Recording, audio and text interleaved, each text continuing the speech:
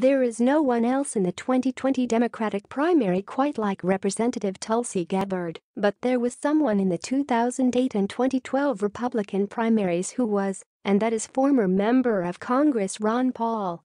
Paul ran the most visible message campaigns of any Republican in those years, a lone voice on the edge of the field railing against foreign intervention in the Federal Reserve he attracted a network of enthusiastic grassroots support, and he was unwavering in his principles, even when they were unpopular.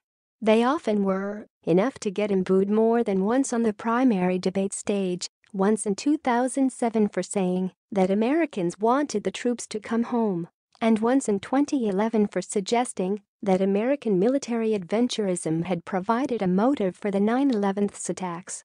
He was also a highly controversial figure who dabbled in conspiracy thinking and whose connection to fringe politics dogged his campaign, especially when racist newsletters from the 1970s through the 1990s with his name on them were surfaced. Such was the success of Paul's outsider movement that journalists hailed a libertarian moment in 2013 and 2014 and, this reporter included, closely monitored the career of his son, Senator Rand Paul, who was attempting to wed his family's hardcore libertarianism with the mainstream of the Republican Party. But Rand Paul's 2016 presidential campaign flopped, and libertarians, like the rest of the right subgroups, were swallowed almost whole by the Donald Trump phenomenon. Trump's burning down the House approach appealed to many in the Paul movement who were motivated by an anti-establishment feeling and a desire to see elites chastened Gabbard is in some ways a thematic echo of Paul. She isn't the only low-polling message candidate in the race. Governor Jay Inslee is running to draw attention to climate change, and Andrew Yang is pushing his $1,000 a month universal basic income plan, but she is the one who is the closest inheritor of the Paul legacy, focusing her message against U.S. foreign policy interventionism and on ending the war in Afghanistan. It's debatable whether it's truly accurate to call her anti-war, given her friendly stance toward the brutal Assad regime in Syria.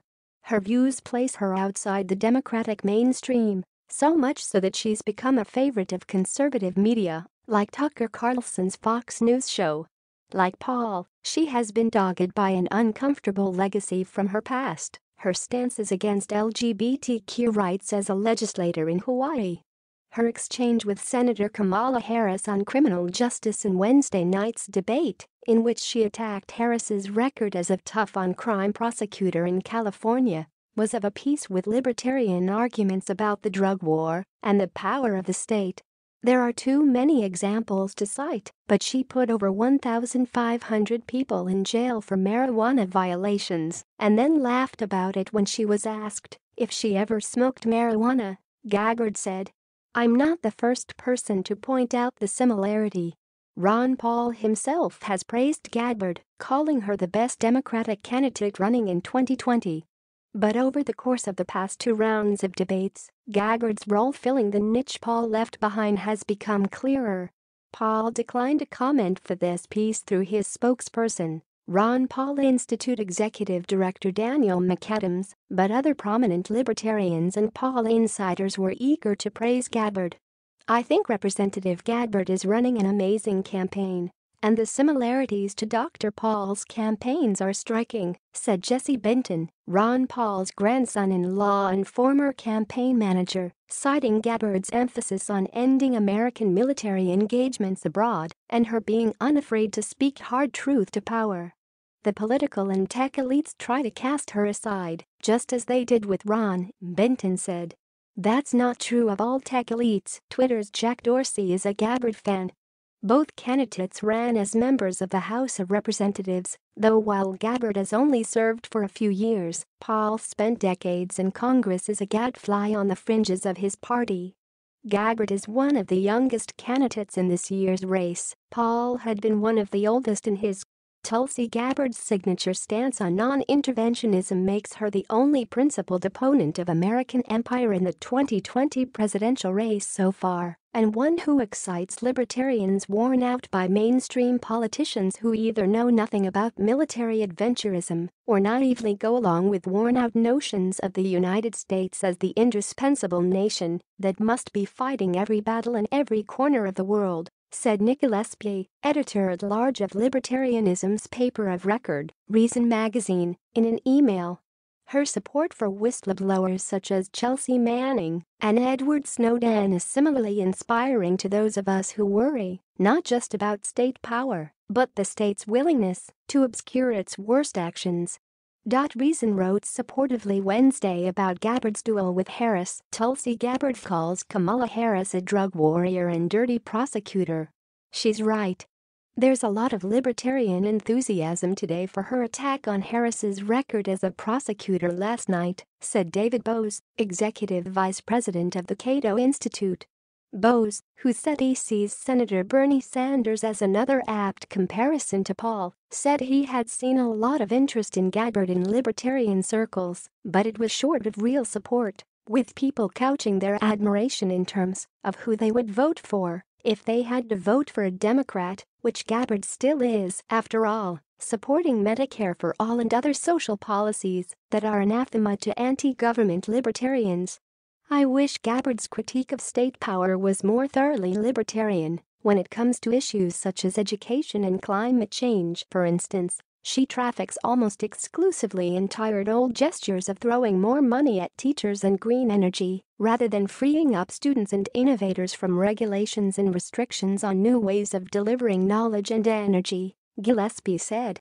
Gabbard and Paul both enjoy a lot of online support, though Paul built a coherent movement of supporters in a way Gabbard hasn't yet.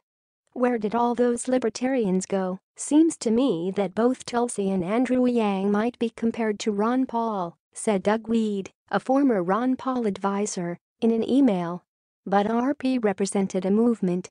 It was manifested with the slogan End the Fed, but it really was a message that said, End the corruption of the elites some of his folks have actually gone on to Bernie Sanders and, of course, Donald Trump. Their point of unity is anger at the elites. I don't see Tulsi or Andrew representing a movement. Dot Gabbard is one of the few causes for optimism in this election cycle, Gillespie said, but although libertarians might be Gabbard curious, Boaz said many are pinning their hopes on newly ex-Republican Michigan Rep. Justin Amash, hoping that he will run on the Libertarian Party ticket. Another challenge for Gabbard is that her signature issue is no longer at the top of Democratic voters' priority list. She's running an effective single-issue campaign on an issue that has been eclipsed in voters' minds by other concerns, particularly in the Trump presidency. Because she is the only clearly anti-war candidate in the Democratic race, why isn't she getting more traction? Where is the left-wing anti-war movement, said Boaz. Like Paul, Gabbard isn't likely to be president.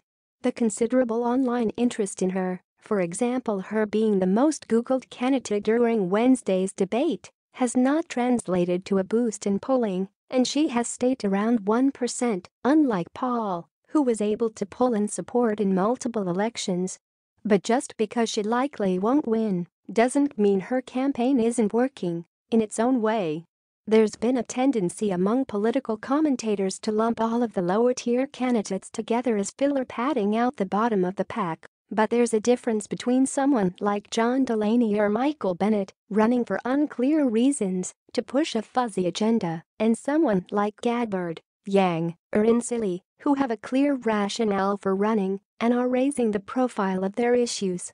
The comparison to Paul may not be perfect, but Gabbard is operating from the same handbook that made Paul an important voice for his platform in his party.